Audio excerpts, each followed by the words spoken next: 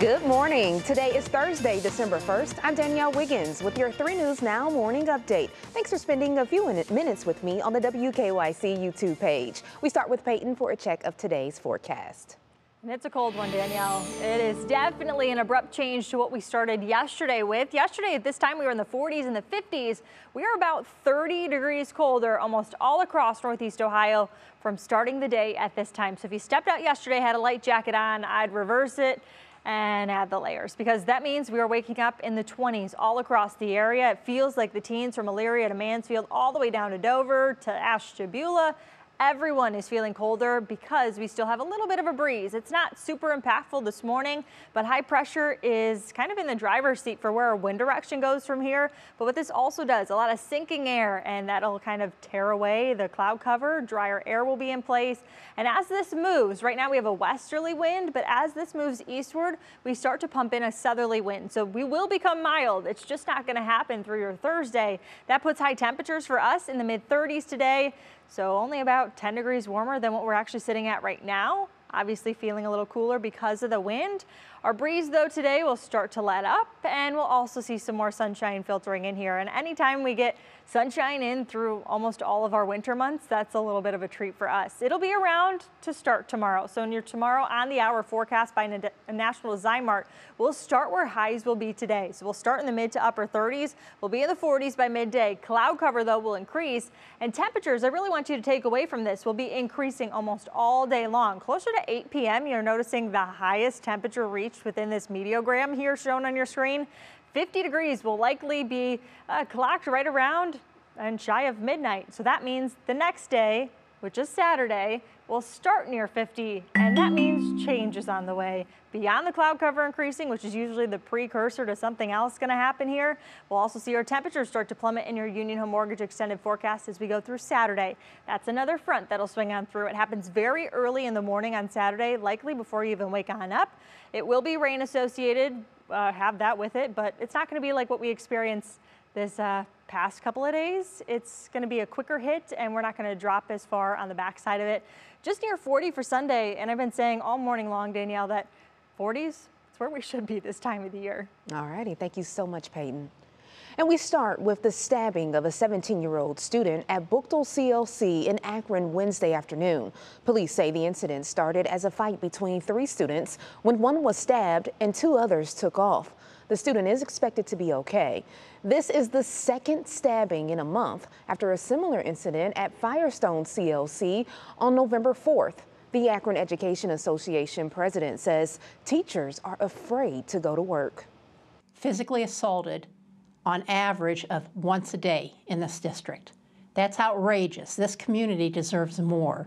Every time I get a text about an incident in Akron Public Schools, uh, my heart drops. It's not a learning environment. It's an environment of fear. Akron teachers are currently in negotiations with the federal mediator and say they have been raising the safety concerns for years. They hope things don't take a more tragic turn for something to finally change.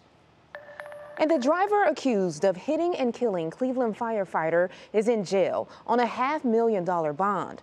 40 year old Leander Bissell was arraigned on several charges, including murder, involuntary manslaughter, and failure to stop after an accident.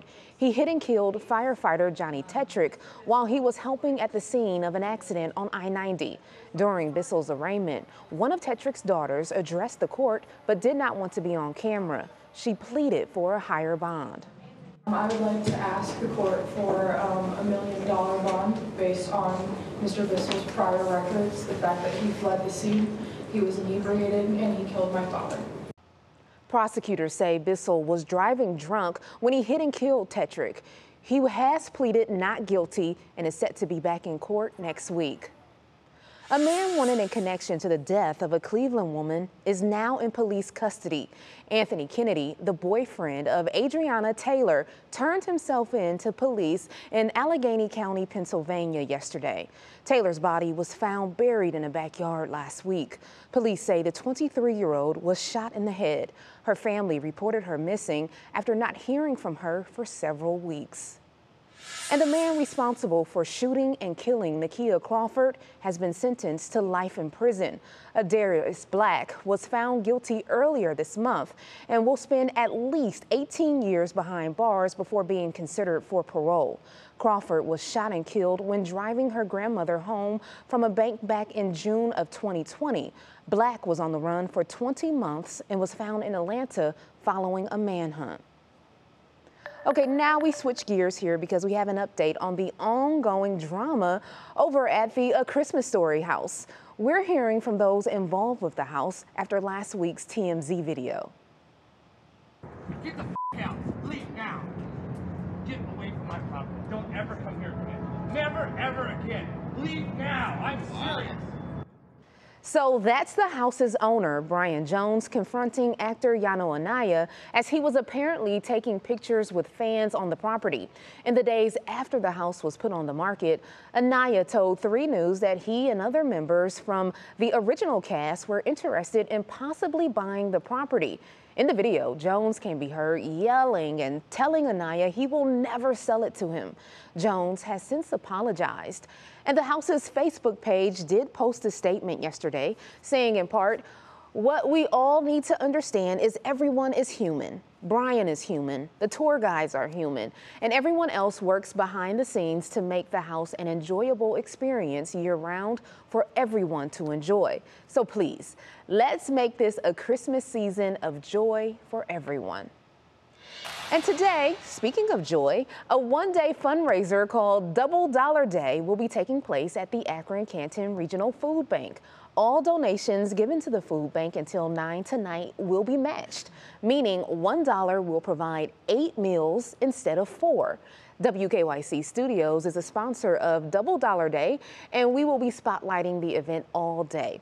If you want to help, you can text the word donate to 216 344 3300.